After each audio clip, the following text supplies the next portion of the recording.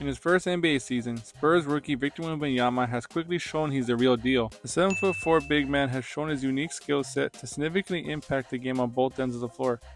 He has the offensive prowess to score at all three levels while holding down the paint as an elite rim protector. With Wembanyama anchoring the front court, the Spurs securely have in place their franchise cornerstone. He not only possesses a game-changing ability, but also the mentality that should keep him on the right track to ascend to potentially the status as the best player in the league in the not too distant future. With all that in mind, he displayed that focused mindset after Wednesday's game against the Boston Celtics, as he told reporters he doesn't care about the increased attention and that he's made to handle all that. According to Clutch Point Spurs reporter Hector Ledesma, Wembanyama stated, It just felt funny how I really don't care and how I really doesn't.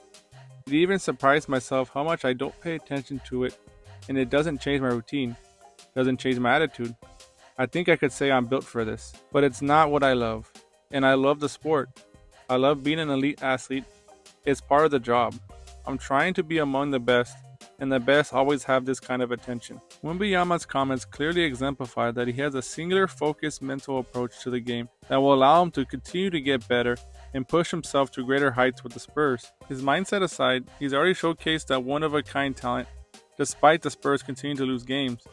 He leads all rookies with 19.8 points and 10.1 rebounds, while leading the NBA with 3.1 blocks per game. He has joined Dwight Howard as the only teenagers in NBA history to post a 20 point, 20 rebound game.